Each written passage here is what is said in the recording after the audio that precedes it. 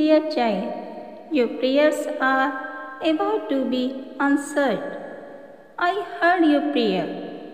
Trust my timing. Be fearless because I'm there.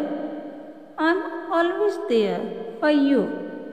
Sometimes I close all the doors for you to let you go in yourself so you can realize how powerful you are. The connection itself is a blessing. Discover yourself, otherwise, you have to depend on other people's opinions who don't know themselves. You are not allowed to have toxic and negative people around you. When nothing works in your life, try one more time with me. Once you know who is walking with you on your path, you will never afraid. Have faith, but remember, faith makes things possible, not easy.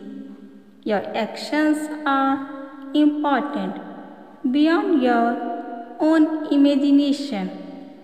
It's not always important to question why this thing or situation happened.